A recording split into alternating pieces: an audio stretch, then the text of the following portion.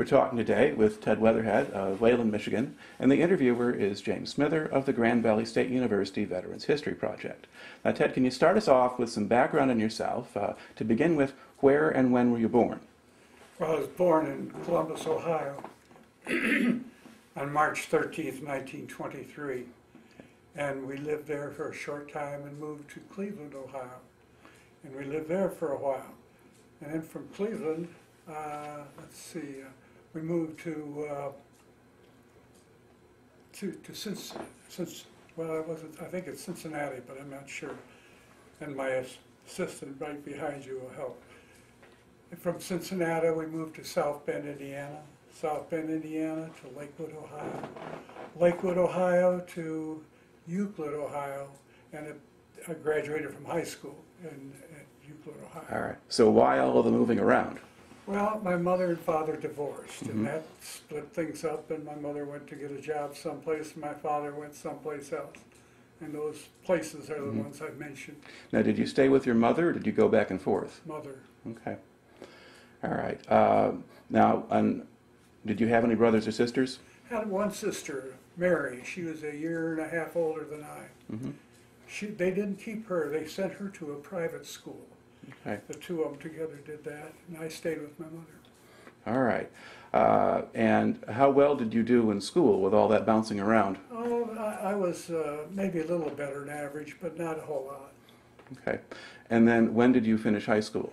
I finished high school in 1941, and I, I think the best I did in high school was uh, National National Honor Society. And that was about it. Okay. Uh, did you play any sports or things like that? Oh yes, I played basketball, football, track. All right. And then what did you do after you graduated? Well, I, I went immediately to o- Ohio University. And I, wanted to play basketball, hmm and uh, that's uh, what Ohio U was good at at that time. So uh, I went there in a short time, and then then uh, Pearl Harbor. Okay. Now, before Pearl Harbor happened, uh, were you aware at all of what was happening in the world, war in Europe, that kind of thing? Not very much. I was pretty much out of it. I was in the basketball world, hmm but aside from that, I, I, I really wasn't with it. Okay. And then how did you learn about Pearl Harbor? Sunday morning, coming home from church, the radios in our dorm were all blaring. Pearl Harbor is being bombed as we speak. And uh, all of, all, everybody's dorm had this on just full blast, and we were just all just taken aback. All right. And then what was your reaction to that? You learned the news, and what did you do Oh, next? we- we- Most all of us, just right away, we wanted to go get the Japanese. That was our single goal in life, most of us. And, and many of us were getting ready to go home for Christmas, this being December seventh when this occurred. And uh, so a lot of us, we, we went home and we signed up. I did, I signed up in the Air Corps, as right. it was known then. Okay. Uh, you then after you go to the recruiting station, you sign up. What happens next? Well, they told me it'd be a little wait for a while, so, but then the school, I, we went right away to the school people and say, what's, what's your attitude on folks that are waiting to, to go to service? And they say, are you signed up? And we said, yes. Well, we're, we're really, uh, you're on your own virtually. If you wanna work hard, do it. If you don't, we, we won't count it, you know. And that's the way I was, a won't count it type of guy. I wanted to study basketball. So did you stay in school then and wait I stayed for? in school. Okay. And then when did you actually get called up? I got called up in uh, 1942, and um, I'm not sure about the fall of 42. Okay. So you got to complete sort of the, the spring term or whatever Yeah. at Ohio U, Mhm. uh, and then you, you go you were back in school again at the time you got called up. Yes, uh, I I don't remember. Okay. I can't, I can't answer that. All right. Uh, and you do get called up. Then where do they send you then? To San Antonio, the classification center in San Antonio. I was there for about eight or nine weeks, and from there they took us to pre-flight in San Antonio. Okay. And Uh, now, in the that classification center, were you doing the equivalent of Army basic training at the time? That's it. Learning how to march, learning how to uh, do the things they do in the army. hmm Now, was it easy or hard for you to adjust to that? No, not really. It was, a bunch of guys, and we get along good. Did they put a lot of emphasis on discipline and following orders? Oh, yes, and, uh, and we had to, we had to toe the line, I mean, that was part of it, and those of us who had had that at home, didn't find that much of a problem. Okay. And were you also taking tests to determine what you would do next? Oh, yes, and physical tests and mental tests and, oh, coordinate, coordination tests of all sorts. And they were doing, uh, classifying into bombardiers, navigators, pilots, and that was what was happening. All right. Now, what did you want to do? I wanted to be a pilot. Okay. And did you care what you flew? Well, I was kind of a fighter type guy, most everybody was, and uh, so that's what I'd put down as my first choice. All right. Uh, now you, so you basically you spend the eight, eight nine weeks there at classification center. Uh, you make the cut for pilot training, or at least for the first stage of it. That's right. All right. So now you do pre-flight, and that's still in San Antonio. That's still in San San Antonio, Okay. but basically about flying, about being a pilot. Now, what did the course consist of? Oh, uh, physics of flight. Uh, we had the uh, uh, all the theory of flying, which took most of a good bit of nav- uh, navigation training and and uh, weather. We had to study weather quite a bit. Those were the main things we did, hmm and we were in class most every day. Okay. So there, you weren't actually in aircraft or, or simulators or things like that yet. No, this is just classroom work. We didn't even see planes. We saw a lot of phys ed. I didn't, you know, a lot of PT or physical physical training. All right. And about how long did that? Nine weeks. Okay, another nine weeks. Classification, nine weeks. hmm Pre-flight, nine weeks. Uh, Our primary flight, nine weeks. Basic flight, nine weeks, and advanced, nine weeks. Okay. Now, did you go straight through that, or were there interruptions along the way?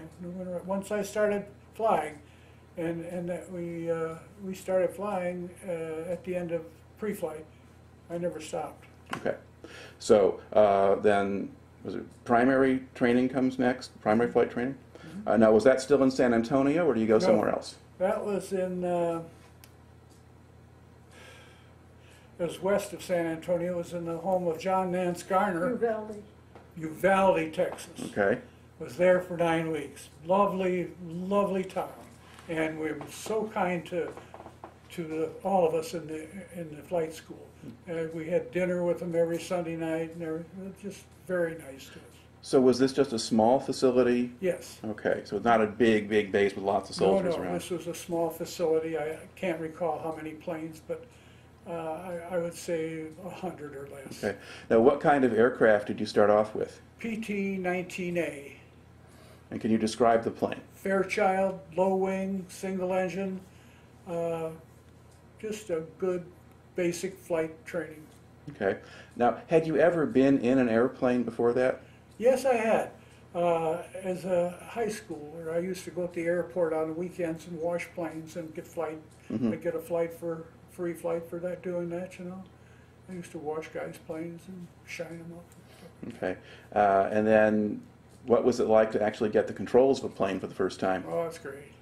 You know, I felt like I could do it right away, and then found out I couldn't. that's about how it happened. All right. Uh, now, at, at that, at, at primary level, uh, did you start to have people who, who would wash out or have trouble? Oh, we had a lot of washouts. I'd say fifty percent. Yeah, fifty percent. Some was caused by uh, just getting nervous when they get up in the air. They just were just nervous. Some were caused by pilot uh, student not uh, getting along too well. There are several reasons why they wasn't all just bad flyers. It was Yeah. What sort of people did they have training you at that stage? They were, they were good people, most of them. Uh, none of them, none of them uh, great pilots, I wouldn't say, but uh, just your normal, run-of-the-day people. They were good folks. Were they civilian instructors or All military? civilian. Okay. All right. Had had military uh, flight check people. Every time we'd have a flight check, it'd be military person. And what was a flight check? Flight check would be to try landings, uh, stalls, do uh, chandelles, do lazy eights, things like this. Those are the things that the the, uh, the uh, officers would check us, Okay. and the officers were mostly uh, second lieutenant, first lieutenant, captain. Okay. So basically, the, the military is the one determining that you're good enough to go on to the next level. Okay. Uh, I think the civilian people recommend that you Mhm. do or you don't, you know. Right. They recommended when you were to get, when you were gonna get washed out before a check, that would be a recommendation by the civilian guy. mhm. Okay. So you have nine weeks of that, and then do they move you again for basic? They moved us to uh, Waco, Texas, to a basic flight school where we flew BT-13A, made by Vultee, called the Vultee Vibrator. Now, was it still a single engine plane? Or? Single engine plane, pretty good size engine though, it was up around 500 horsepower. And we could do slow rolls, loops, uh, uh, all kinds of acrobatics. We, we had to do those things, we had to do them well to, to pass. Okay. Now, were you having, were there people having accidents at, at this stage, or were they mostly doing okay? Uh, I think there were probably some accidents, I didn't know about them though. Mm-hmm. Uh, It was, it wasn't a thing that was impressed on our mind at all. Right. Now, the people who had gotten through primary now, are you going through with the same group of men? Yes, we stay with the same guys just about all the time. Okay. And once they had weeded out the first group, did most of the ones at this level stay in? I'd say so, most of them. A few would wash out for various reasons. Uh, We had, uh, we had a, uh, we had a bunch of guys got polio. A bunch, maybe four or five Mhm. guys, and we had people washed out because of that. That was a little surprising Yeah. to us. All right. Uh, and so you kind of you get through that. Now, did you do all your flying during the day? All the flying was during the day at that point, yes. Our flights were daytime flights. We had cross-country flights, we'd go quite a ways away and, uh, from the base and, and we'd land and have lunch, something like that, and get back Mhm. in, come on, come on back. We did cross, cross-countries with an instructor at first. And then after a little while, the instructor sat it out and we'd go by the cross-countries by ourselves. Okay. And would you fly solo, or would there be two of you in the plane and you just take turns? Solo, Okay. so. All right. Never flew uh, two in the plane with, other than a- an instructor. Okay. Now, did you uh, get grounded for weather? Would bad weather keep you down? Texas is beautiful flying weather. And Mhm. it was, uh, it if it was bad weather, our flight would get canceled. But, but we flew, when we got scheduled, when we were scheduled, we flew Mhm. because the weather is that good. Okay. All right. Uh, so now we're kind of making it into 1943 here, and you're going from base to base. Uh, so you have your ni- nine weeks basic, and then what's your next step after that? Advanced. And we were, our class was forty-four A. Mhm. January seventh was preset date for our graduation. So there, there was nothing arbitrary about when Mhm. you were gonna get done, you knew when you were gonna get done, nine weeks later. see. And we started flying, uh, we started flying, nor, um, can't think of which plane it is, It's Nor- it's a North American plane, I believe it was, was, uh, uh, it was a, uh, uh, it wasn't an AT-6, which is a North American and the Mhm. most popular advanced trainer. We were in Mhm. advanced now, but I was put into an advanced school, two engines. hmm And that was, uh, that was against my wishes, but that's, that's the way it was done. And I flew this plane for maybe, of the nine weeks, I maybe flew it three or four weeks. And then we got some, uh, we got some C-47s in. hmm And we started flying them for about six uh, weeks, five or six weeks. No, I'd be up to nine now. It'd be about three or four weeks. And then they brought in some uh, North American uh, B-25s, the same as Jimmy Doolittle Right. did the bombing with. Only these planes had been fitted with 55 millimeter cannons, and they couldn't they couldn't shoot the cannon and fly the plane. The cannons would stop the plane. The, re, the recoil was so big. So they took the cannons out, sent them to advance for us to fly and, and get some time in that. And that was pretty interesting flying for us. We thought, you know, we do uh, single engine takeoffs and uh, you know various various mild things compared to basic. We where we were Mhm. doing all kinds of fancy stuff in basic, but advanced we just flew uh, straight stuff. A lot of distant cross countries. Mhm. Okay, so was your, your whole unit then now flying twin engine planes? So you, class forty-four A was gonna do that? together. Transports or bombers? Bunch the whole way. Okay. Uh, Now, as you're bouncing around from uh, base to base here, uh, what was your off-duty life like? What else was going on at that time? Uh, I, I don't know, we, uh, I, I don't remember in training, we, we, we had, a- we did a lot of studying, you know, when, when we weren't flying, we were studying the flight theories and stuff like that, because we'd get quizzed fairly frequently. I don't recall much of social life, like, not when I, like, when we got overseas, the social life took off, Mhm. but in training, we didn't have much social life. Okay. Well, when did you get married? We got married about four weeks after uh, Japan capitulated. Okay. So you were you engaged during this time, or would that come Oh, later? Or No, not really. We, we wrote once in a while, but that's about it. okay. So you sort of had a girlfriend back home, but it Yeah. hadn't gotten to that point yet. Okay. But then I have, and overseas, you have a girlfriend one night and a Mhm. girlfriend the next night and so forth. All right. I'm just asking in part because you have a picture album and there's pictures of, of your future Sure. wife in there from that, that period of time. Okay. Uh, but basically, so so you really just kind of focused mostly on the business of learning how to fly. And, and at training school, Yeah. it was that way. But it, once we got in, in, uh, uh, when we were doing missions, like we fly to France or to Mhm. Germany or someplace like that during the day, and then, uh, then the night, we, we didn't do a whole lot, uh, play poker, maybe Mm-hmm. something like that. But on weekends, we take off for the city. Okay. Uh, now, over the course of the time as they're moving you from school to school, did you get any leave time? Did you get to go home at all? Uh, no. In the, in the schooling, never. We, we never had a day off that I could think of. Uh, on Sundays, we could go have dinner with some people like Mhm. uh, in Uvalde, as I was mentioning. But uh, we, we didn't have, uh, uh, we didn't get time off Mhm. during the week at all, or weekends, either one. Mhm. But in, and once we got into combat situation, we had weekends, you know. Now, did you get a furlough before they sent you overseas? Got a four-week furlough, and uh, um, we, I was sick a good bit of the time. I got trench mouth somewhere or other, and uh, so I was homesick for about three weeks. But, uh, yeah, but I got a four-week, and then we, we all got back together, got new airplanes at uh, South Bend, Indiana. We got brand-new C-47s, and they decided we would fly the southern route to Europe. So we took off from uh, South Bend, Indiana, and flew to uh, uh, Gold Coast, I think it was, or help me with that now. I think it was, uh, Did you go to Brazil Flor- or? no, we went, we went to Brazil, but we went first of all to, down to What, you took off from Fort Wayne to West Palm to West Fort Palm Beach, and then from there to Borinquen Field, Puerto Rico, and from there to Natal, Brazil, Mhm. And from Natal, Brazil to Ascension Island, and from Ascension Island to the Gold Coast of Africa, and from there to Marrakesh, Morocco. Mhm.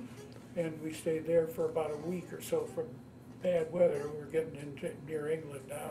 Okay. Now, have we left out any stages in, in the training process? You've gotten to the point where you were training in B-25s and C-47s, uh, and then did you do anything else before the furlough and being shipped out? No, that's Okay. about it. Okay, so that's the uh, sequence. We didn't, uh, no, we didn't have any transition. The Mhm. Tran, that came after we got back from the four-week leave. We had four weeks, four and a half weeks of transition. And that was because there had been a, uh, an incident in, in Italy where our Navy shot down nineteen C-47s full of paratroopers. And that loss of nineteen planes put a, a big jump in the, our, our military, and then had to get some pilots in a hurry Mhm. to replace all these guys, and they had to get planes in a hurry. And that, that thing changed our transition altogether. Instead of nine weeks of transition, which was normal, we had four and a half weeks. And then we got planes as co-pilots and flew overseas. Okay. Now, on a C-47 crew, how many men are there? Well, there's just a pilot, co-pilot, uh, radio operator, and, and crew chief. Okay. uh, but on going overseas, uh, every plane had a navigator. Okay, so there'd be five of you on the plane. Okay. Now, what was it like making this long set of jumps to, to Oh, get over to. Europe? There was, from Natal to Ascension was a kind of a scary one. That was a, a distant flight. And, uh, and Ascension was having German submarines surface 100 miles north or 100 miles south using the homing signal that Ascension was using and to home in on them, and then they'd shoot you down with uh, anti-aircraft. So we were, we wanted a good navigator on that one. And we, uh, the, the, the uh, tone, the signal they gave was just as clear, just as bright as Ascension signal. So we had to know where we were going, and that's why we had to have a net navigator. We wanted him. Okay. And, uh, So the German submarine would give its own signal and try to draw you to it? And they did it. They, they were, they got several of our planes doing that, you know. All right. But that, that was kind of a scary thing. So then we went there from there, from there to Africa to Morocco was, was a piece of cake, really. We just stayed there. We were there for, for Easter at, at uh, Marrakesh. Marrakesh is not much of a town. Yeah, I mean, what was, did you get to see much of anything when you No, stopped in these places? We would, we would be dying to get in to start with, but when you, once you've been there, you, you've seen everything you want to see. At least that's the way most of us felt about it. We'd stay on the Mhm. base and do some studying and, and uh, hope to hear that we're gonna go to England. All right. Uh, so you were in in Marrakesh for about a week or so. Okay, now is the next stop England at that point? Valley Wales. We had to go into Wales Mm-hmm. first, and then from Valley Wales to Cottesmore, England. Mhm. And we had an English base. It was made for the uh, English Air Force, and they turned the whole base over to us. And it was an excellent uh, situation. We had apartments and kitchens, and we had just very nice living quarters and eating quarters. Mm-hmm. Good place. All right. Now, did you have um, any English personnel or civilians working on the base, or was it just all Americans on the base? Oh, we had uh, laundry people and stuff like that were, were domestic people Mhm. or were uh, local people. The rest were all, all Americans. Now, what part of England was this in? Near, uh, kind of halfway between uh, uh, Nottingham and Leicester. hmm It was up in the Midlands. Yeah. Okay. And uh, were you doing training up there, or were you now flying missions? Oh, we were training a good deal before D-Day. We flew all the time, and we had a one horrible incident. We we go out as a whole group at nighttime. We flew almost all night flying because the drop was going to be made at night. You know, and we had a route we took, which was just 180 degrees off of, of what the route was that we actually took, which unbeknownst to us. And one night, uh, we had a group we had a squadron, it wasn't a squa, a group, it was a squadron, which was about uh, thirty-six planes or something like that, ran head into, uh, right into another one. And the leaders of both squadrons were killed. And several others were injured, as the planes were just flying all over the place, because all, they were all VFVs, you know, we had four VFVs bes- behind each one, and these, all these planes were just scattered all over, very scary situation. We, we all go, went back to our field by ourselves and landed, and, and we all had to be debriefed as to what happened, and Mhm. as they tried to find out what did happen, you know. That was a, that was a kind of a, a bad incident, and so they changed some policies after that, flights would be further apart, Mhm. but we still had to fly at night. Right. And we started what they call night flying school, or night, night vision school. And they took a gymnasium and uh, had white lines all over the floor of this gym, gym- gymnasium. And they started out with the lights at a certain level, and they, uh, this, this went on for five or six weeks, and each night, the lighting level would be just a little bit less than it was the night before. And we were having eat copious quantities of carrots, raw, and, uh, to try to improve our night vision. And I think they, I think they did improve it. It, we, we felt as though they improved it. All right. Now, when you were doing these training missions, were you carrying paratroopers with you, or? Uh, no, generally not, but maybe once in a month we would carry paratroopers. But the rest of the time, we were just the planes alone, and the pilots and co-pilots and crew chief and radio operator. Okay. And, uh, but we flew every night just about that you could fly, which wasn't every night in England, it was maybe half the nights. Did you also learn to tow gliders? Oh, yeah, yeah, we did. We had learned that back in the States, we'd had very little of them, but we'd had enough, to, you know, that we took off with gliders and so forth. Glider pilots were, as I mentioned in my write-up, were short of training, though they weren't really well trained. They- They, didn't know the physics of flight, and they, they just, they just, they could fly, and that was about it. And we had good bit of trouble with glider pilots always wanting to uh, fly above you to get out of the prop wash, you know, they want to raise up. Mhm. And so that would pull the tail of the plane up, the, of the pull, tow plane. So we'd start, it. we'd have to tell them to get down and get into the prop wash where you belong. And then we pulled double gliders, and then they'd want to split. And you got the same physics problem again, as, as the further apart they went, the, you know, the, the harder it get to tow, you know. When, they- if they stayed close together, we could tow them easily, but when they got way far apart, it was tough to tow. And we'd say, get together, fellas, or we're gonna cut you loose. So did you have radio contact with the glider pilots? Yes, Okay, very short radio, not, no distance. right. Uh, and I guess maybe you don't practice too many times with gliders because gliders break.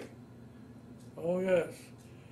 We, uh, as I mentioned in this write-up, they put, the the Germans drilled, uh, far, all farm fields, they drill these holes, maybe three to four foot, foot deep, and we, they drop in six by six pieces of lumber or pieces of trees or something like that. And when the gliders had hit those, they'd land and hit those things that break the glider up, or it would hurt the, the the participants.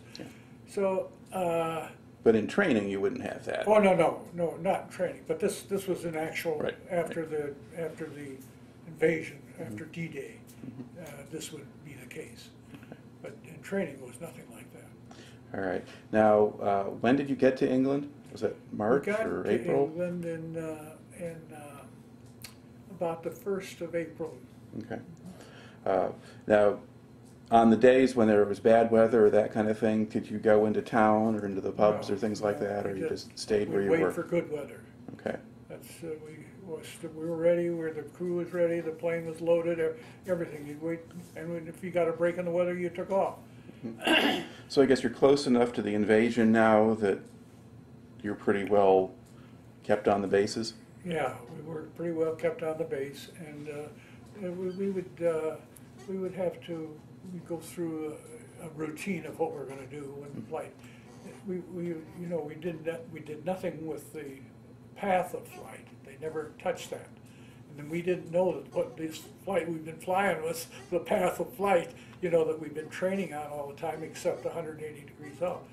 But we had a lot of, a lot of uh, uh, sessions, you know, what you to do when this happens, what you do when that happens. All right.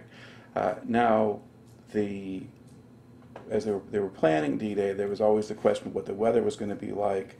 Uh, the initial plan was to go on the 5th of June rather than the 6th. 6th. Now, how far into the preparation to go did you get um, on the night of the 4th, 5th? I, I'd say on the night of the fourth, uh, the day of the fourth. Yeah. Before the, fifth, we went through the, well, the whole routine, I mean, we were, every, every detail that we could think of, Mhm. we brought up and it was, we questioned. Did they tell you at that point what the route was going to be, or was that the, No. the 5th when they told you that? They told them that the night of the, the, the night of the briefing for the drop. They told us, you just turn to the left hundred and eighty degrees instead of to the right, and that was our route. And we, uh, we all, we all had lousy weather that day, but, uh, we went. All right. Now, uh, describe sort of what happens that night. I mean, was it a normal day until you got the briefing, or Well, we knew that, you know, from the, from the experience of the day before, we knew it was coming, so we Mhm. were all like, like this, you know, we didn't sleep good or anything like that. But we went into the briefing about, uh, oh, let's see, we took off at about midnight. We went into the briefing about nine thirty or ten, something like that. We briefed for an hour and a half, two hours, then went to the planes, got our paratroopers, we left, with- we didn't have any para, uh, tr- gliders then. Right. We had all paratroopers. Okay. And what unit were the paratroopers you had from? We were with uh, 405th, uh, uh, a part of the 82nd Airborne. We had Okay. 82nd Airborne, 405th Regiment, I. Well, the probably 505th. 505th, yeah. 504th, 5th, and 6th. Right. All right. Uh, and okay, so you've got just. But how many of them did they put in the plane? About 19 in our plane. Okay. We had, and uh, it depended on the, the load the guys Right. had. They had, some of them had real heavy loads, and some of them did. But they'd go from like 16 to 19 in a plane. Yeah. And, and what impression did you did you have of these men as you were loading them on and carrying them over? They were, they were, you know, trying to, they were good, good humor. They were all kind of joking and so forth, and, but they were all scared, just like we were. you know. Did you have a sense that any of them had jumped before? Because the 82nd had Oh, these been in guys had action. all been jumping be, for quite a while. Some of them had jumped maybe twenty jumps. You know, they were. they Mm-hmm. But I were- meant in combat, sort of. But not, some of them in combat in, Yeah. in Africa. Right. Some of uh, down there, they were experienced guys, they were new guys, they Mm-hmm. were all mixed together and they were a bunch of good men, that's all. Uh, They were, they were scared like we were, but you couldn't tell it. Okay. Now, how did the flight itself go? Can you kind of describe what happened? You take off from the airfield and what? Well, you form into, the way you, you take off, well, pretty close, one right after another, and then you take a sharp turn to the left. And these left-hand turns, the first one went way out took a sharp turn, and the next one not so far, and that's the way you catch uh, them. When they come back, then you're, you're catching up and getting into formation. Mm-hmm. And that, we did that for about 15, 20 minutes and a half hour even, getting into formation. And then the, the leader said, we're on our way, you know, and and we took off for the, the route that we knew we were gonna go on. That was to, to France, I mean, to, to Normandy. Right. Okay. Now, as you were flying, I mean, could you did you were just flying in, in clouds or over clouds, or could you ever see down? Through them, above them, below them, and we had clouds all the time. And we'd see the planes, they would all be pretty close in, with the guys that s- try to stay with you as close as they could and s- still see you. Mm-hmm. And, and the clouds were not real thick clouds, but they were, they were really bothersome. Did the planes fly with any lights on? No, they had three lights on each top of each wing and 3 lights on top of the plane. They were blue lights or purple lights, or whatever you want to call them, but those are the only lights. The bottom, the exhausts were all hooded with the exhaust dampers. So, if you were at the right angle, you could see the planes around you, but only if you were at the right angle. Yeah, you could, uh, that's, that's about right, except uh, we could see the planes most all the time, except when a cloud would come obscure it. And it- and then it would come back right away, and we had to move over or move in, one or the other, you know. Okay. Then, as you uh, get over the, the coast, did you take any anti-aircraft fire coming in? No, we didn't, we didn't, we didn't see a thing until we got to Sainte-Mère-Église. And then we saw ground fire coming up like crazy. It was, wasn't anti-aircraft, it was small ground fire. Uh, fifty caliber machine guns and things like this with tracers in them. We could see, with the tracers that come right by your nose, you know, it's, it is pretty Now, scary. was that after you had dropped your paratroopers? No, before. Okay, so uh, were you going, as you're, you're, that that area is a peninsula, the Cotentin, sticks up north toward England. Were you flying west to east across it or east to west? We were flying uh, kind of, uh, it would be northeast to southwest. Yeah. Kind of came at an angle across there. Okay, so you'd go past Sainte-Mère-Église, kind of heading inland before you unload the men? Well, about, that's about where we started unloading is at St. Okay. Mary Glees, St. Lo, St. Mary Glees. Well, so forth. St. Lo was some ways away if you were Yeah, there. That you was on beyond. Yeah, yeah, okay, so uh, now do you have any, uh, what determines when you drop the paratroopers? Well, when, when the lead plane, when the lead plane has a red light on top and his light goes on, we Mm-hmm. put our green light on in the back of the plane, the guys start going on. And were you ever able to find out uh, how close those men got to where they were supposed to be? Yeah, we, we, we had a, Mom and I, we saw uh, uh, there- uh, in the- our paper that the, the hundred and first was having a meeting here in Grand Rapids, and the guys were all- they were having a reunion. And uh, we called up down there at the hotel where, where the, they described where they were staying, and asked if they'd like to talk to any airplane pilots that dropped paratroopers on D-Day. Oh, yeah, come on down, know.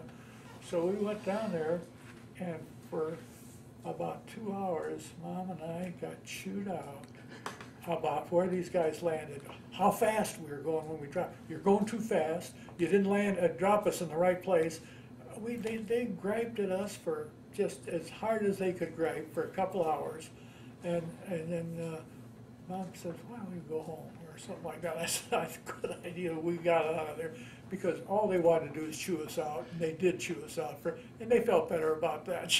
Yeah, although actually the 82nd had a little bit better record of being dropped in the right place than the 101st did. Yeah. So, so you didn't even drop them. No, we dropped the eighty-second, but they still griped. They Yeah. still had plenty of gripes. Too far from them, too hard to drop. You were going too fast, you know, and it hurts uh, their body when the parachute snaps them. Yeah. Now, when you were, you said you, you flew over Sainte-Mère-Église and there was fire coming up before you dropped the men. But did the fire affect your formation at all? Did people start to break I up? don't think so. The weather affected our formation much more than the ground fire. I don't think the ground fire affected us at all. It- We, we all could see it, but, Mhm. but the weather was tougher to fly through than the, than the flak. Okay. All right. You, so you, you successfully, you, the men jump off, uh, and then you just, just fly back out over the channel and go home? Or? Yeah, we, we hit the deck. We, we went down, right down on the ground, and our leaders would take us, and we would stay right in formation the whole way, right back to our base. Okay. And why would you fly low?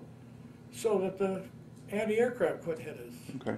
And we'd come on them too fast. We'd come on them before they could get their guns up even, you know. We, they would be standing there waiting around or something, then boom! You know, it's like a rocket coming over them. Right. Okay. Now, your day wasn't over yet, though, was it? You had more work to do? Oh, we had to go back and get a load of gliders. I had to bring gliders. Okay. Uh, and so how did that go? Well, the, the dropping of the glider was, was, uh, it was a lot tamer than the paratroopers. I mean, less fire, and less ground fire and so forth. And, but, because they were all so busy with the paratroopers on the ground that the, the, the enemy were, Mhm. That they didn't pay much attention to the gliders coming in. But the, the gliders, you know, they had these fields to land in, which were difficult fields with these obstacles. Mhm. Incidentally, we, we, we recovered gliders. Did, have you been told about that? Well, they, they, uh, they did what they call glider snatching. And they, what they did is, like if you had a football field, they'd have two posts going up like goal They were six by sixes and they'd go up in the air about fifteen to twenty feet off the ground. And then they'd hang a, a, a- nylon, three-quarter inch nylon glider cord across these two posts and then running it back to a, one of the gliders and stick it in the nose of the glider to hook it, hook it up. And then we bring our plane over at about 130, 140 miles an hour, and we had a 15 foot boom that would come down from the plane, and it had a big hook on it, and we'd come and hit it with that the, the nylon cord with that hook, and we'd pick the the snatch the glider is what we do, and we'd go from about 140 down to 90 or 85 or 90 miles an hour, and the, and we had a winch inside the plane uh, with, that would spring loaded and it would pay out so to take the shock of the you know pulling the glider off at the same time. And, and we'd take about three, three or four of them in a day when it was a good weather day, and we'd pick up three or four good gliders. Not that there weren't too many good gliders. We had uh, about, uh, oh, each squadron had maybe two of these snatch planes. Mhm. And we'd take them over there and do the snatching with them. And did that on a couple occasions. All right. Yeah. No. So once D-Day has happened, you know, you, you drop, you did, the, did the paratroopers, then the glider. You're doing glider snatching. Then at the early in the Normandy campaign, what else were you doing at that time? Injured, we hauled a lot of injured people out. Uh, would, uh, we had, you know, and, and the- as I said, the weather was bad, and we'd take these injured, we'd get a flight nurse, we'd bring a flight nurse over, and we'd pick, pick up about 14, 15 uh, litter patients, Mhm. and take them back over to England to a hospital on, on one occasion, which I mentioned in this, in the write-up there, we, we, we got, as soon as we got off the ground, you know, we, we got up into the air and we're headed toward England and land, got land, landing instructions, and they said, you're not gonna land here, this is all closed in, you're gonna have to go back to France and check France, and they were all closed in too. So we, we went to a place called Land's End, and it's right at the south end of England, and asked Land's End for, uh, uh, for them to turn their beacon on, their homing beacon. Mm-hmm. And they said, well, we're not allowed to do that. Well, there's nobody flying today. I mm-hmm. said, we're, we're up here by, by force only. I mean, there's no Germans around, so I said, they talked it over and they mm-hmm. turned it on. So then we took a hundred and eighty degree heading from that beacon and went out to the Atlantic Ocean. And went down to about hundred feet to, before we broke out. We bro- broke out underneath the clouds. Turned hundred and eighty degrees and started back for Land's End. And, uh, called about, oh, after we'd flown 10, 15 minutes, we called Land's End and said, please get eight ambulances on your landing field there. And uh, give us landing instructions on what runway is best for us to use. And we're on our way in, you know, and they said, okay, we'll do it, you know, they, they gave us landing instructions on the runway, and about 10, 15 minutes, we just, we slid it right on in on a runway, and they had the ambulances pulled right up there and unload them. And this poor nurse we had, this, this flight took uh, like two or three times the length of normally. And she has drips on everybody, and she's tending to their pains and, you know, giving them, uh, medicine for that. And she's about just burned up, that we, you know, that she'd worked so hard. And she said she was so glad to get down. I said, so are we. Okay. Uh, now, was that, uh, I mean, did you see much of the nurses or the female military Oh, personnel? yeah, we would, we would go, we'd do that maybe one or two days a week. Mm-hmm. We'd see these nurses, flight nurses. And they usually fly over with us. We'd get a load, come back, or there- sometimes the weather's bad, they- so we wouldn't get a load. We'd come back empty, you know, we, we'd done that too. And we usually always carried something over. We'd carry gasoline, we'd carry munitions, and- or we- we'd carry food. We ha- always had a load going over. hmm But not coming back, we many times would have these, these injured people. Right. Now, what kind of uh, landing facilities were there in France at that point? They would make uh, landing facilities for us. They had big steel mats, and these these steel mats, they would the engineers would spread these out on a pasture field, and they hooked together like this, you know. And we'd come in and land on these steel mats and uh, uh, try not to get stuck at the end where the mat ended and so forth. And we'd turn around, taxi back to the beginning of the mat, so we'd load up and un- we'd unload first and load up with whatever we were going to take back. And, but that's, that's what they had for landing strips, is these steel mats on these pasture fields. How soon after D-Day were you doing that? Oh, I'd say ten days, Okay. maybe two weeks before we got there. It took them a while to get those mats laid down. It took them a while to secure the land, you know, to make sure there were no Germans around.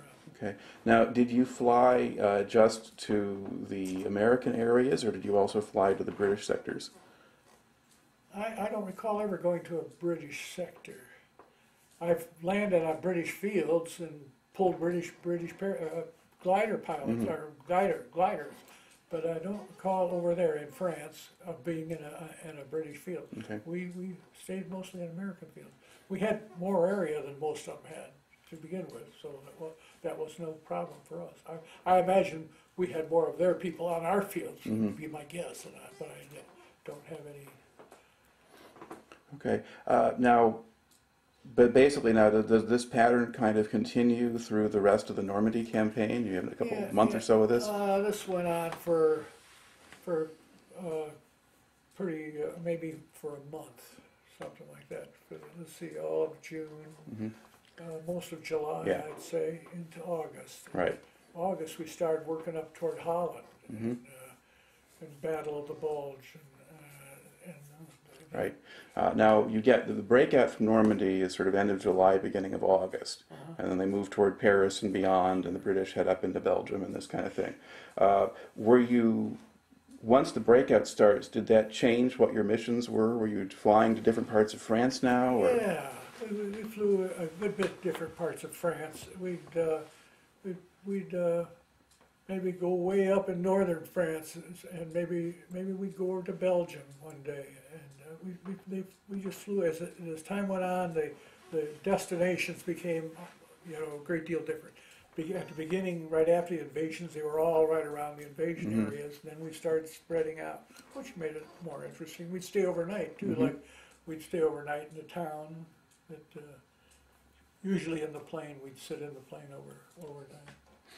All right. Uh, now, what kinds of things did you commonly carry at that point? Well, gasoline was uh, is about the most uh, prevalent. Uh, How do you But we'd carry a lot of food. We carry a lot of uh, ammunition. how do you transport gasoline in one of these planes? Because you don't have big tanks. Yeah, would, we would have uh, drums that would fit through that, that double door we had.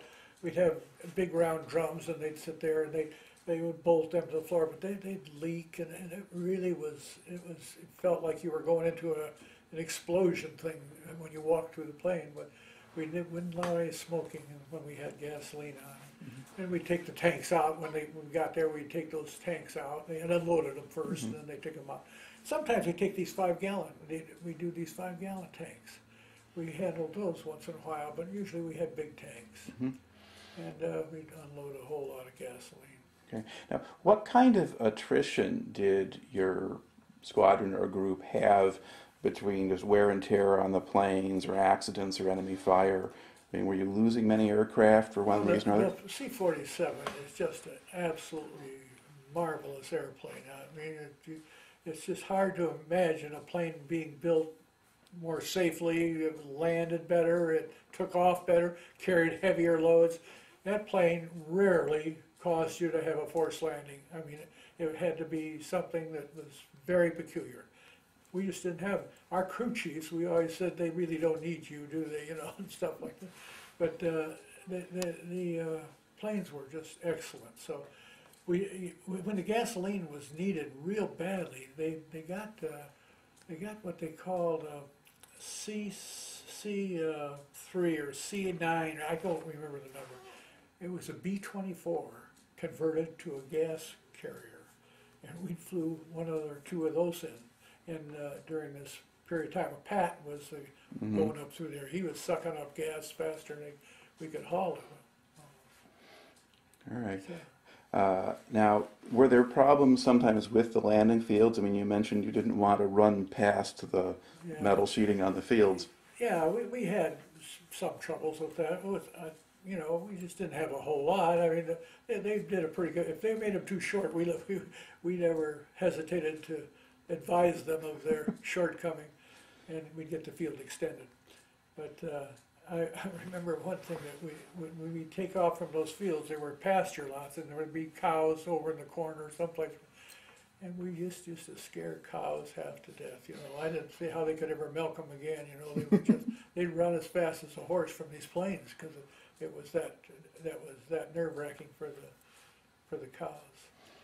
But, uh, we got, uh, when we got into Holland, when we were, we were going down there on these market garden affairs, we had, uh, going in t- across the, across the, the, uh, English Channel there, we were having a lot of Germans coming at us, they, they got wind that we were coming, so we, we complained like crazy, and they, they got P forty-sevens and, then- and B, P fifty-ones started coming to help us.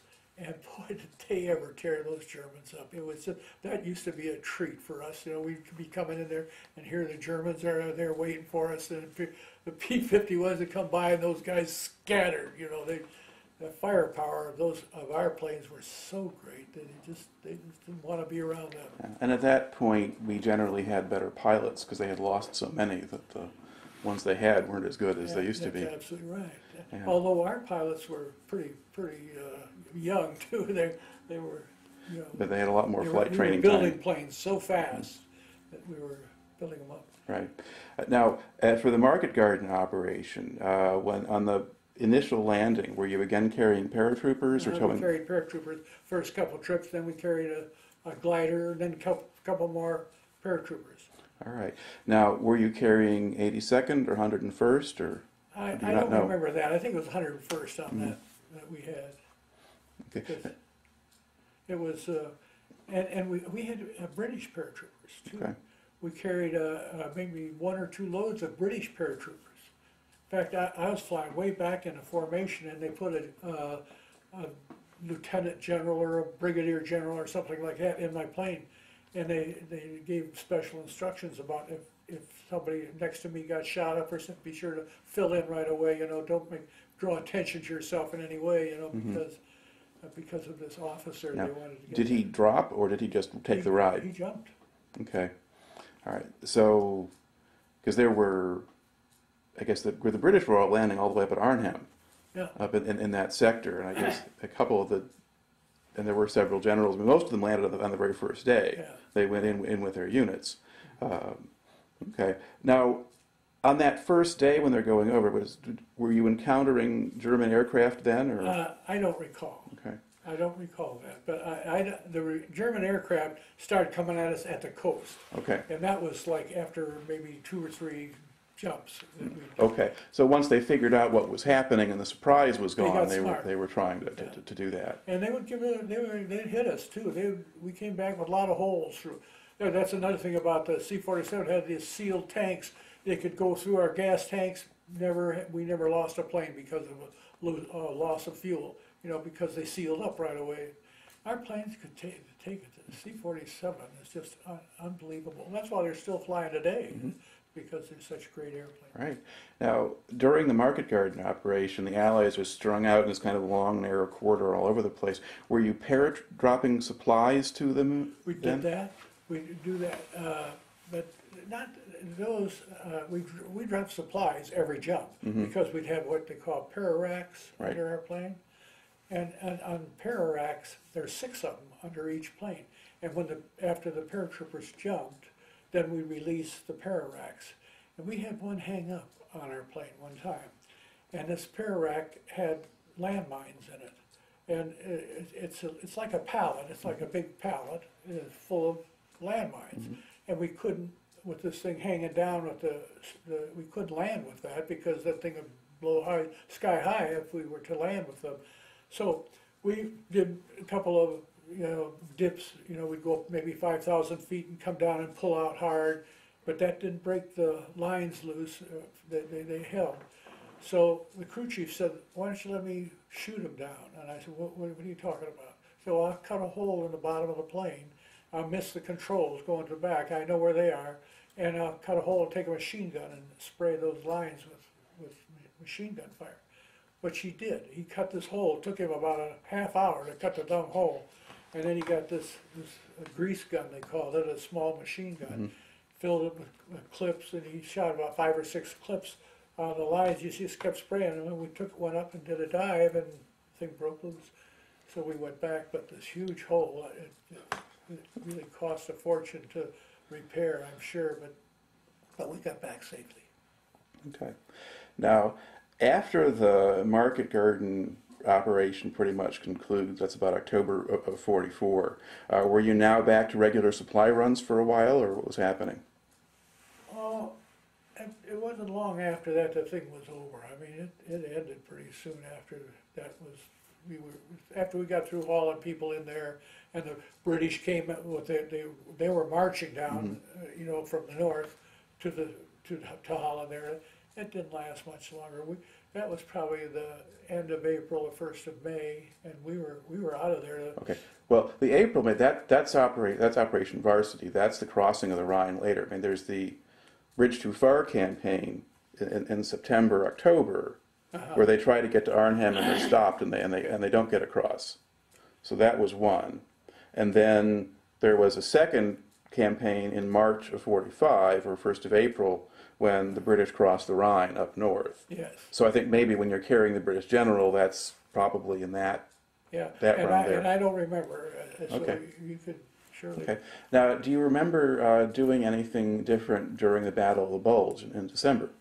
No, I mean, the weather was so rotten, and we didn't fly hardly at all. Mm-hmm. When the, when the weather first got, got okay, we started, dro- we dropped as quick, we fill our para racks and go over them, release them, and go back and get another load. Mm-hmm. Yeah, But, uh, we didn't, uh, And would you fly over Bastogne, where the paratroopers were, or Yeah, we Yeah. did that. Okay. All right. Now, what when you're ba- you're based in England at, still at most of this time? Uh, what did you do when on the days when you couldn't fly? We sort of play poker, just, you know, we didn't do much studying then. We were through studying pretty much, but we usually just play poker or just watch for the weather. Okay. Well, could you get a pass and go into London or things like that? Uh, I don't think so. I never did, and I don't know of anybody else that did. Other bases may have, Mhm. but we, we, Yeah. we didn't do it. Uh, We get passes, but uh, the pass would be after a month's wait for it. You know, Right. You get a four-day or five-day pass. And did you ever get one of those? Oh, yeah. And, and what would you do with it? Well, I just went into London and walked, walked around Piccadilly Circus and, and uh, some of those places. I didn't do much of anything. Uh, uh, we went, we find a home to stay in, and then uh, people would ask us all about what we've been doing, what we were, and so forth. They all thought we were rich. Everybody thought we Mhm. were rich. All right. Uh, now, were you in, ever in, in London or in any place when the Germans were shooting the buzz bombs? Yes, I was at, uh, north of London. Uh, we were over there when they were shooting, and they- they were shooting the, uh, uh, V-ones. Mhm. And that they, did you make the noise like a washing machine, then they'd stop. And then they were gonna blow up. Then- Yeah, we, we did that. Trying to sleep through that is very difficult. Did they ever uh, try to attack or bombard your base in England, or was that? Uh, never, never. We never had a German plane or anything that looked like one Mhm. come toward our base. I think we were too far away from them uh, to, to, uh, to get to us. Yeah, and you might not have been a high priority target anyway. That's right. Uh, That's exactly right. So we, we didn't, uh, we didn't have that kind of trouble. Okay. Now, toward the end of the war, did you switch your base over to France? Yes, we had, for the last three or four weeks, we were in France there before we, we got out, uh, before the war ended, uh, before the Germans capitulated, about, uh, on May third or fourth, we got on a ship to come back to the United States to get Mhm. new planes to go to Japan. Okay. Uh, now, what kind of facilities did you have in France? Oh, just tents, tense, it was lousy. You know, toilets were terrible, everything was, everything was really bad in, uh, when we were stationed in France. We, we wanted to go back to England. But they, they had us over there, they're getting us ready to pack us up, ship us out. On May eighth, when that was uh, the day that the Germans quit, uh, we were on board a ship. We hadn't met, left, the- we hadn't left yet, but we were ready to leave. Okay. So you weren't taking planes back with you, you were just being sent. We were leaving our planes there and getting new planes, coming back for new planes. Okay. And they weren't C-47s, they were Fairchilds, they were bigger planes. All right. Uh, now, what was the uh, trip across the ocean like?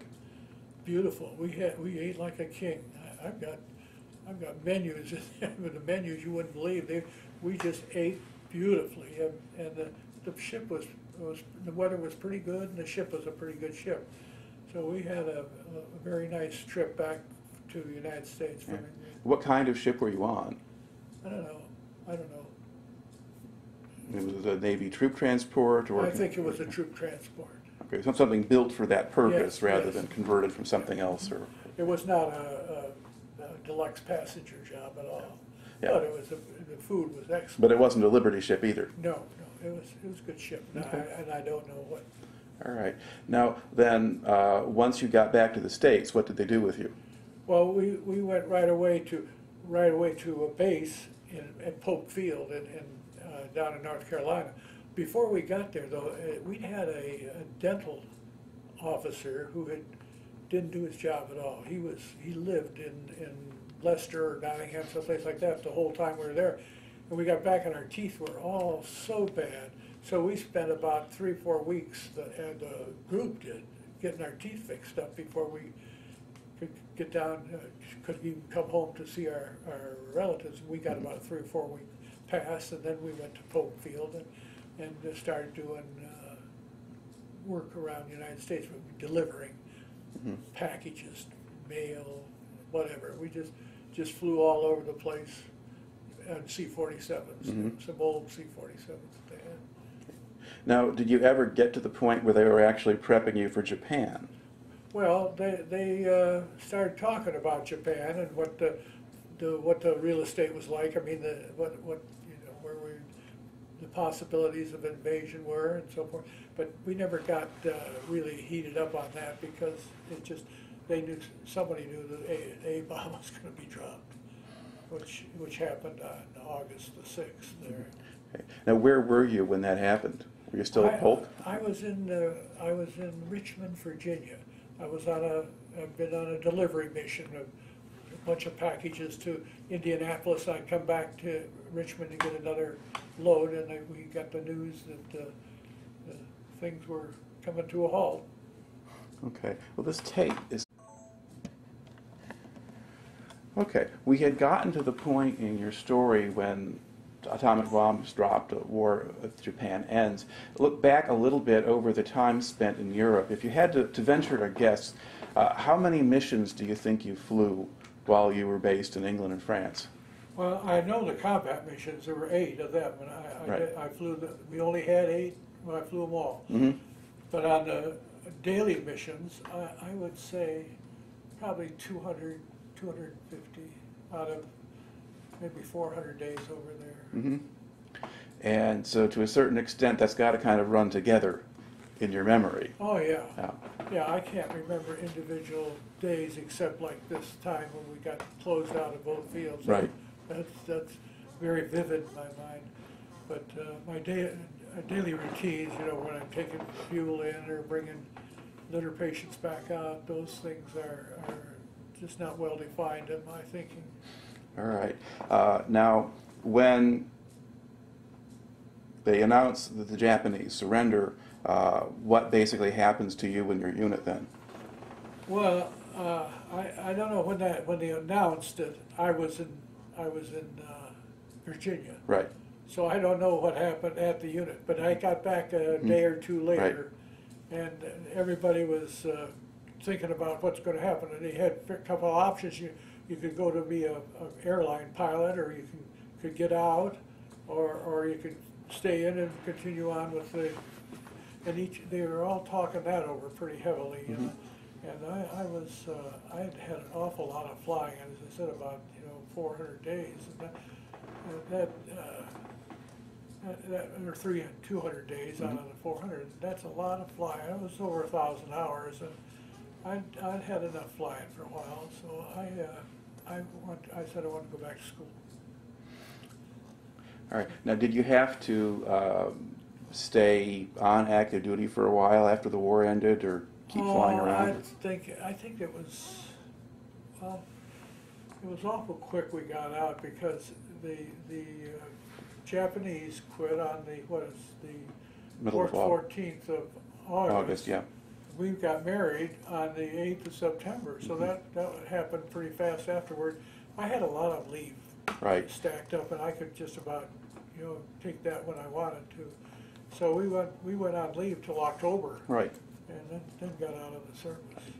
Okay. Uh, and then at that point, now, did you return to Ohio University or go somewhere Yeah, else? uh, she had graduated from University of Michigan, so she tried to get me to go to Michigan, and I found out that all this horsing around I did that, that semester after they, uh, after I'd signed up, it, it didn't pay off at all. I mean, I couldn't get in Michigan for what, I- unless I wanted to start out at day one, you know. Mhm.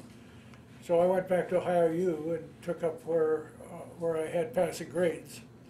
And but Michigan, they didn't just want passing grades, they want, they want them up here, Mhm. okay? So I, I, uh, I went back down there and we got married just before the, the semester started. So we, we went back down there together and, uh, got a place to live, an apartment, or a house to live in, and then we moved from the house to an apartment later on. But they were so good to veterans there, Minnie, they just, telephones were furnished, everything was furnished for us. We just, uh, just had good living, didn't we, Mom? Now, what did you study then? I graduated in engineering. I studied uh, engineering, and I didn't have a specialty at first, but then I ended up with industrial engineering, which is kind of a general engineering. Uh, As you were going through these college classes, uh, what proportion of the people there were veterans? Well, they were, uh, veterans were pretty slim picking. When we, when we got out, it was so quick after the end of the war that there weren't many, many, many veterans in, at Ohio. And, and we got treated like kings, you know, I mean, just, everything, if you're a veteran, y- y- everything was Yeah. How long did it take you to finish up? a long time. Forty-eight, I, or eighty, let's see, I, forty-eight as I finished? Forty, Yeah, forty-eight. nineteen. Now, over the course of that time, then were there more veterans coming into the Oh, classes they the next year? in, poured in. They changed, they had to build buildings and they did a lot of things. They, with us, we had this house till we moved to an apartment. This apartment was just first class. And, uh, you know, that was real early in the game. Mhm. But then, uh, pretty soon it got so the apartments got pretty hard to get. and uh, They were having to build, build buildings, especially married veterans, Mhm. which there were a lot of, you know, because they were so much older than, than the regular students. Were the veterans any better as students, do you think, than the Oh, I thought ones? they were better. I think they were. They, they, they, they most all of them uh, wanted to get, get at what they wanted in life rather than sit in school. hmm So I think the veterans were better students. At least that's my, my opinion. It's something that I had heard from old professors long ago, that the veterans stood out a little bit Yeah. from the others. Okay. Now, once you completed your degree, did you get a job then? Yeah, I had, uh, uh, her father was, uh, was the vice president of a, a sheet metal company, and he'd offered me a job, and I, I went with him. I worked for him for three, four years, and I went for, my family had a, a business, Weatherhead Company in, uh, in Cleveland, had a place there, and they asked me if I wanted to come there, and I did. They were pretty short of people. And then I, I worked for them, and they transferred me to a little town in western Ohio named Antwerp, Ohio. Twelve hundred people, but they were building a new cement plant there, at, uh, right close to Antwerp. So I rode over there and said, I'm an engineer, would you need an engineer at this, at this cement plant?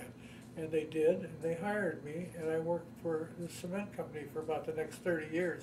I, I made cement, you know, that was, uh, a gratifying work. I became a plant manager and vice president of a cement firm. Okay. So, how did you wind up on the shores of Gun Lake, Michigan? Well, uh, we, we lived in this town where we had this great big family, and you know, uh, about a year before the first one got out of college, I took a trip around to the colleges. Uh, we, she wrote letters for us and introduced us, and we'd stop at each of these schools and go through the school. And we had three of our oldest boys with us, and the oldest one chose Aquinas College. Mhm. We, we went in Indiana, we went to Ohio U, we went to Michigan, we went to all these schools that we knew about. And this one took Aquinas. And uh, 10, 11 of, 11 of the family went to Aquinas in the end. And they met spouses here. Mhm. And they married and had their families. And we're sitting down there in Ohio, we have one kid left out of the 13 that uh, was still down there. So we said, the heck with this, we're gonna move up to Michigan where the, where the crowd is. hmm And so we sold our farm, we had a farm there, we sold that and we bought this place. hmm And we've been here twenty-three years now, All right. and this has worked out real well for us. Okay. Now, to look back at the time that you spent in the service, uh, how do you think that wound up affecting you? Good question.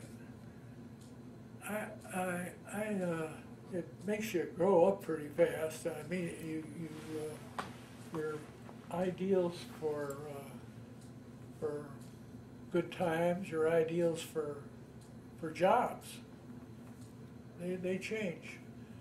As you get older, you get different ideas on what you, what you really wanna do.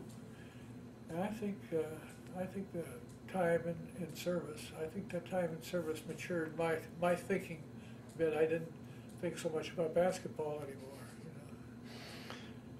Thought about baseball. That's a whole different story. All right. Uh, now, to look back at, at the time you spent, particularly in Europe, are there kind of any particular incidents or things that happened that, that tend to come back to you that you haven't brought into the story here yet? Uh,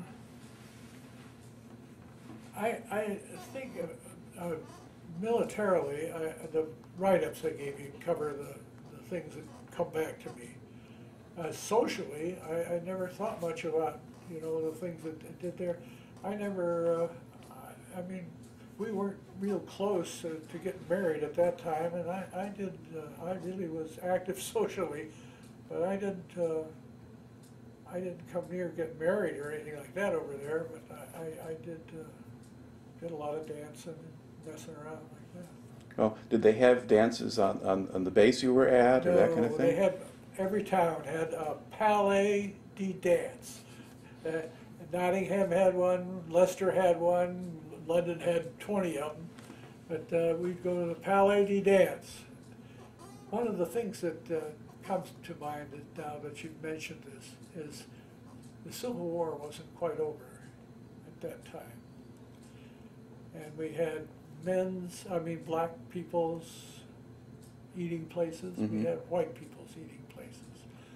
We had dorm, the places you lived, the dormitories, facilities were black and white. And uh, that, for Ohio people, that was quite a surprise to us. I mean, we get in there, that, that, I just couldn't quite get over that, that they have, I couldn't go into a black toilet, you know, Mhm. because it was a black toilet, you know. How was it different than white? And, uh, So you had that when you were training in the South? Was that? yeah, yeah. When I first started training in, in Texas, for Mhm. example, you know, pretty far south there. Yeah.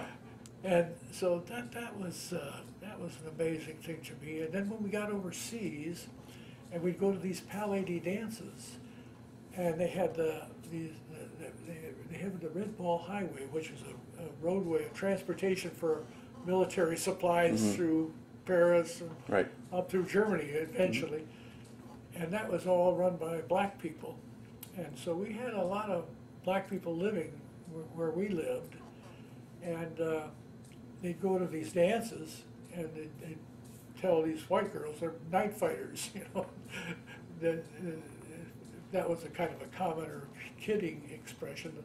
But they'd get in some pretty tough fights, uh, the white guys and the black guys at these dances occasionally. That, that always, you know, for no reason at all, other than your skin was different. hmm And we didn't, we didn't have that kind of living at all where we were in Ohio and Michigan for that matter too. Now, did you see more of this um, at, when you were based in France, or was this when you'd go into the big towns in England? This is in England. Okay. I, I never saw this in France. Okay. I, I didn't, I didn't ever see this in France. Okay. But I did see it in England maybe four or five times, and that, that troubled me, you know, Mhm. that, geez, that's behind us, let's get rid of that war, and do this one. Did you have much contact or interaction with the black troops, or were they always in different places? Never had any, anything other than uh, picking up a load of stuff that we were unloading on the Mhm. plane maybe.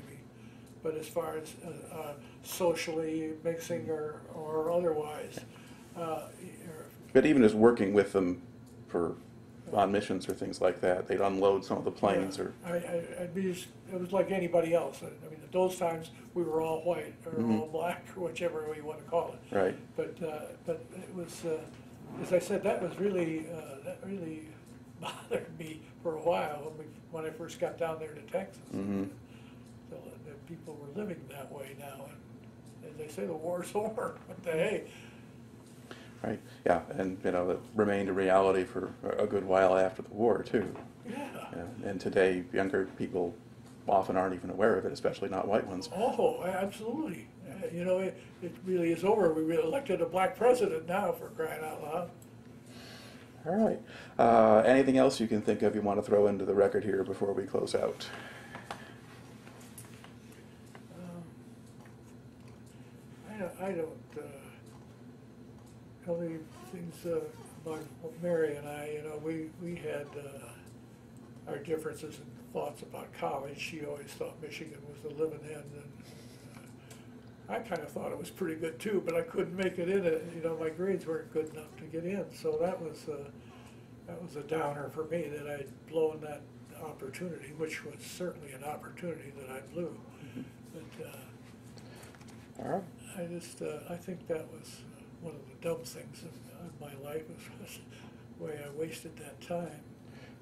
It kind of reminds you of the difference or the change in you between when you left and when you got back. Exactly. All right. Well, it makes for a good story, so I'd just like to thank you for taking the time to tell it to me today. Okay.